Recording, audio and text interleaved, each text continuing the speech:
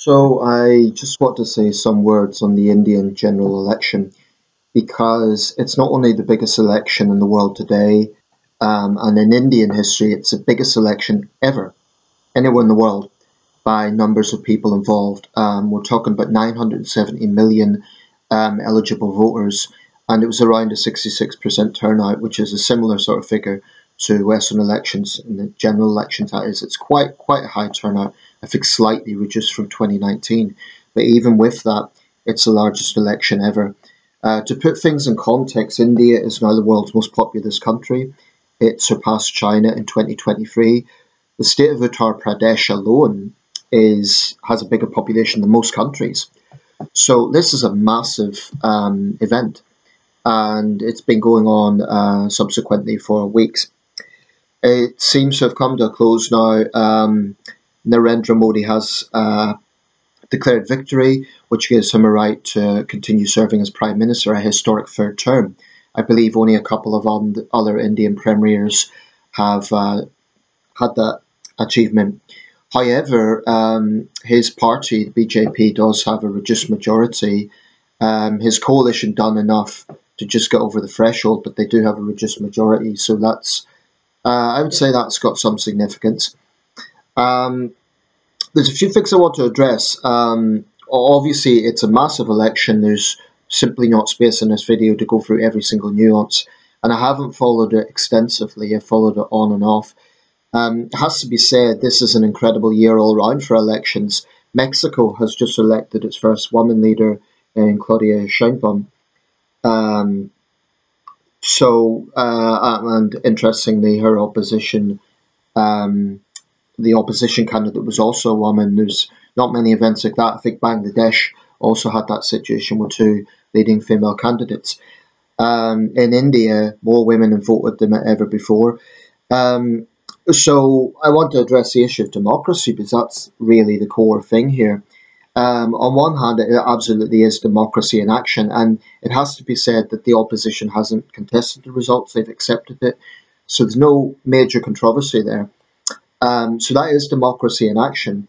And, you know, we often in the UK, when politicians are returned, they often thank returning officers and election staff for organising things. Well, you can imagine uh, the responsibility in a country as big as India, with an electorate as big as India. So, you know, it's no small thing to organise an event for that scale. Um, of course, it's absolutely up to Indians who they choose as a government. That goes without saying. Um, however, I have observed some things. Um, I'm not really surprised that Modi has been re-elected, um, but there's some things around it that I've observed, and I will state my opinion because free speech. Um, you know, I I respect the right of Indians to choose their government. That doesn't mean I can't have a say on it as someone who's interested in current affairs, and particularly as one of the things I'm concerned about is rising sentiments against my country. So I think um, it's very valid to have an opinion. Um, because India often boasts it's the world's biggest democracy. Well, one thing about democracy is not being afraid of scrutiny and not um, acting in a way in which, you know, different points of view are, are, taboo or not allowed. Um, that's where India should be different from totalitarian states. But I do feel on Modi's watch, India has become increasingly um, intolerant. Um, it would be a stretch to say that Modi is a dictator. He certainly isn't. He's not a de facto dictator. He was elected. Um, but I do think intolerance has increased on his watch. Intolerance towards India's minorities, an increase in Hindu supremacist thinking.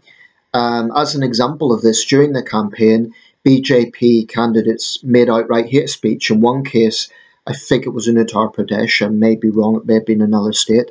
Um, the candidate basically made a rant about Muslims being invaders. Now, bear in mind, India has a Muslim minority of 200 million people, and they've been in India for centuries.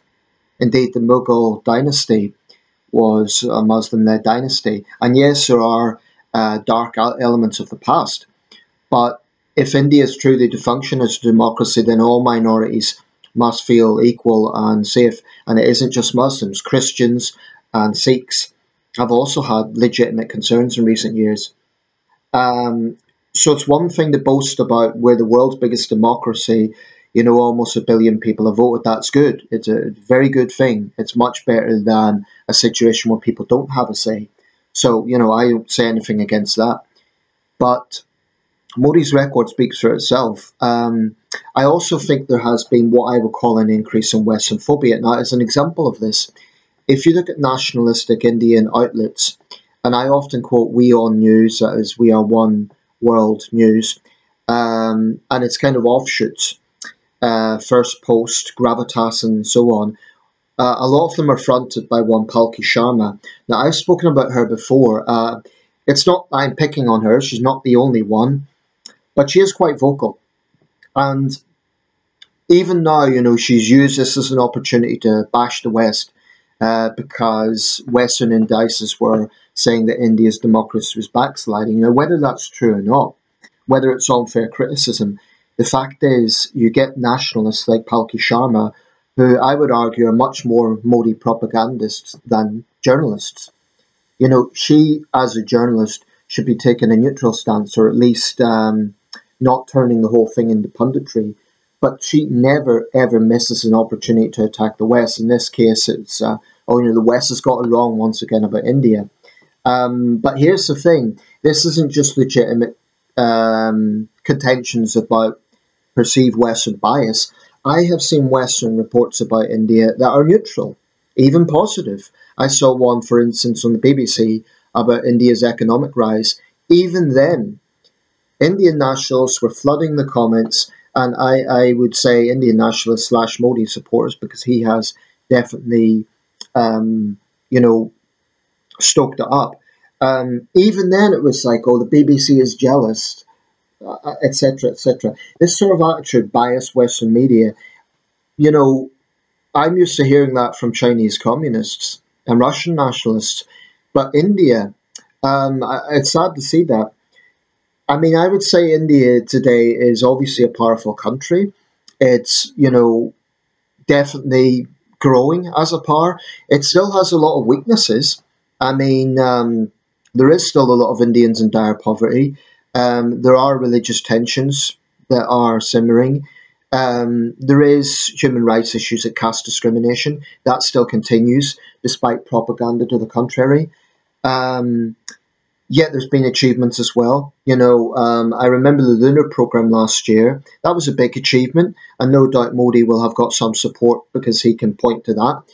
Um, but even with that, even with an achievement, which by the way, although it was an Indian project that had some British support uh, from a logistical point of view, not that they would mention that in terms of some of the satellite connections and so on that were used. Um, even then, it was an opportunity to have a go at the West rather than just celebrating it.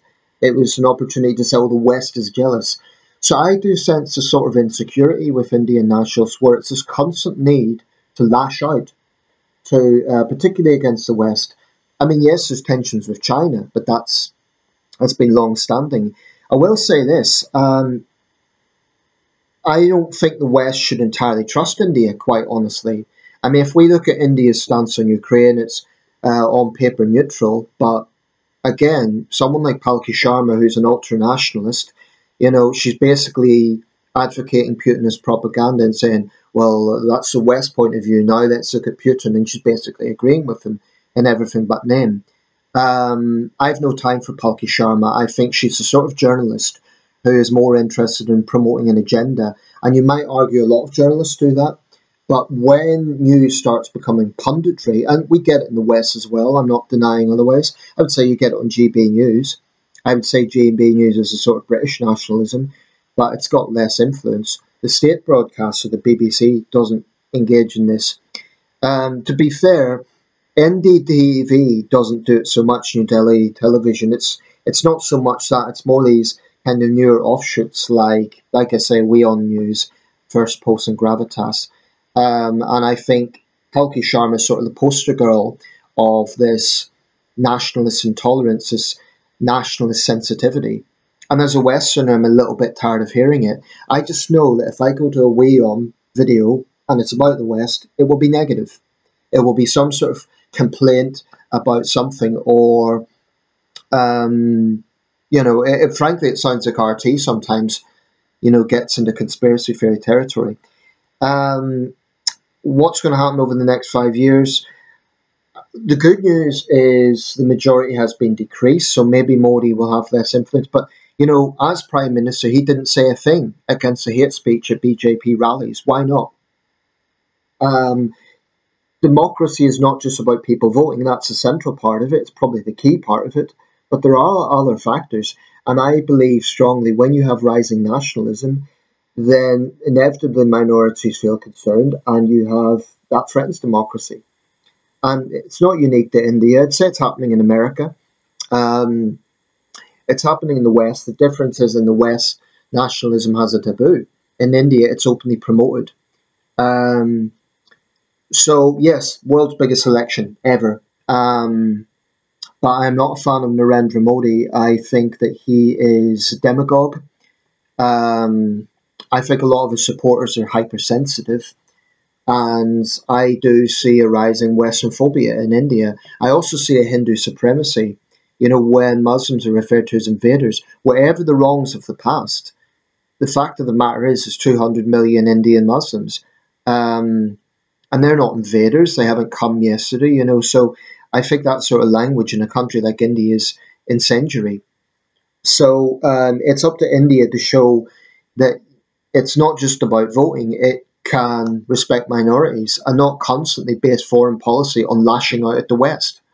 Because I'll tell you something, if India and China have a big border conflict, I hope it doesn't happen, but India will want support. If India wants Western support, then maybe um, it should stop lashing out at the West at every given opportunity. Um, I also will say this. I think we should have good relations with India. I think it should be based on mutual respect. I don't think it should be based on kind of constantly reminding us of colonial of the colonial past or colonial guilt and approaching it as I mean for it for context, India is now the fifth biggest economy in the world. We're now sixth. So our former colonies now surpass us, and of course, a lot of Indian nationalists gloat about that. But it should be about mutual respect. It shouldn't be about one side gloating over the other. Um, and you know, the West plays a role as well. The West should welcome development in India where it happens. We give a lot of foreign aid to India, and in return, um, you know, Indians often work in our NHS, a lot of Indian doctors. So there are mutually beneficial things going on. But um, I do think on Modi's watch there has been a rise. And the thing is, I don't think it could just be blamed on the imperial past because it wasn't less obvious on Manmohan Singh watch, on his watch, or on previous during previous Indian prime ministers. I do think Modi's a demagogue, and I think he has allowed this intolerant nationalism to thrive. So it'll be interesting to see what happens over the next five years if there's any more bloody pogroms, that's hardly something to shout about a vibrant democracy, as in the bloody pogrom that happened in Delhi in 2020. So India has had a lot of achievements. It's a great nation. I'm not anti-Indian.